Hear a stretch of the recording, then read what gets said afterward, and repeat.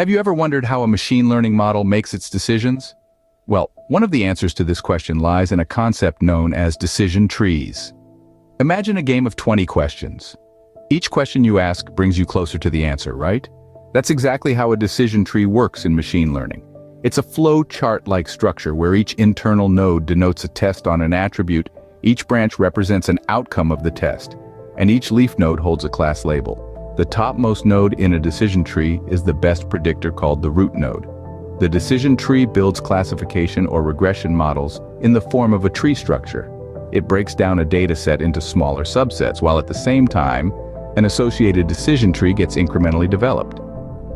The final result is a tree with decision nodes and leaf nodes, where decision nodes are used to make any decisions, and leaf nodes are the output of those decisions. The algorithm begins with the original set as the root node.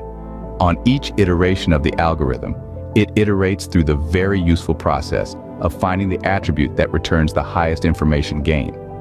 This attribute then becomes the decision node, splitting the dataset into smaller subsets.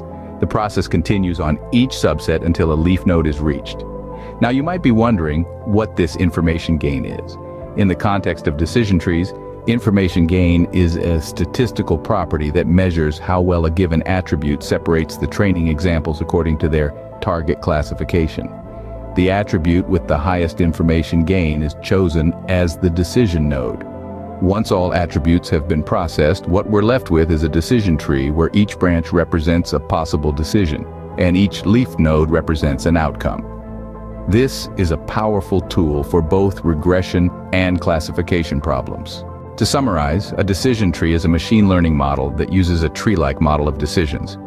It starts with a root node, splits the data based on the attribute that provides the highest information gain, and continues this process until a leaf node, which provides the final decision, is reached.